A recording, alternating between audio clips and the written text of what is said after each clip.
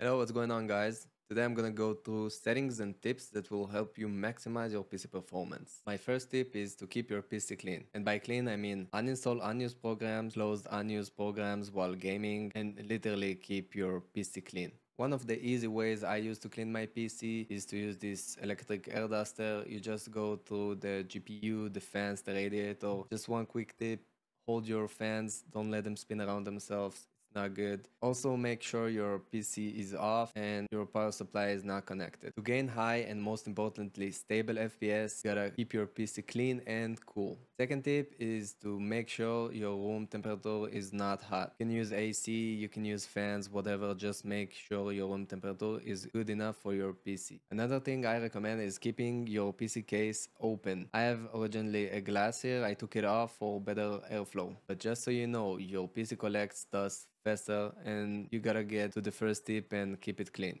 Alright, so first off, make sure all your drivers are up to date. Go into the start menu, just write update, check for updates.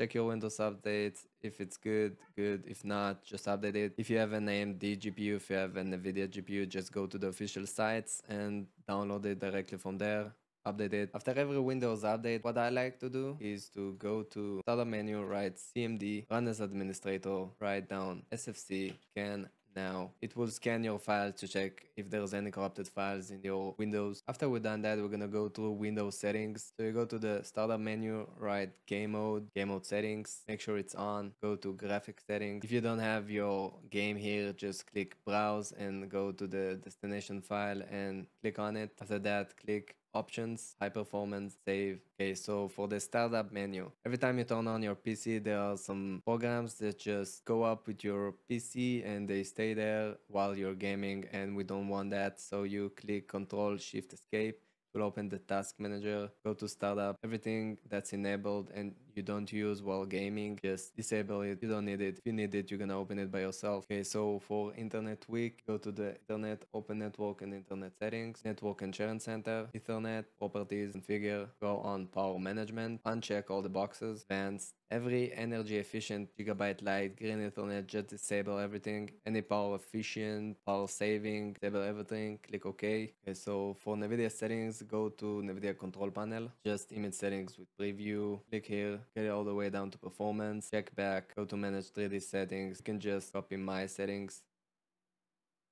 over here, you should check your GPU power management mode. For power management mode, don't be tempted to go for maximum performance. Just go for normal. Don't need that. Shader, cache size, unlimited. Texture, filter, and quality. Go for performance. You don't have to go for high performance. Low latency mode on. Don't be tempted to go on ultra. If you only have ultra, go ultra. Never go off. Configure surround. Make sure to check your GPU, not CPU, not auto selected, just GPU. Change resolution, make sure you have the highest refresh rate. G-Sync, make sure it's disabled, uncheck it. Okay, so for in-game settings, they you go for full screen exclusive, play monitor, your monitor, screen refresh rate, highest, play resolution, your native resolution, aspect ratio automatic, NVIDIA Reflex low latency, on plus boost. If you have a high-end PC or a good PC, if you have like a medium to low PC, just use on, never use off. Eco mode preset custom, VSync off, custom frame rate unlimited, focus mode 0, HDR off. Okay, so for the quality you could just copy my settings, fidelity CAS 100. For the VRAM scale target, keep it on the default.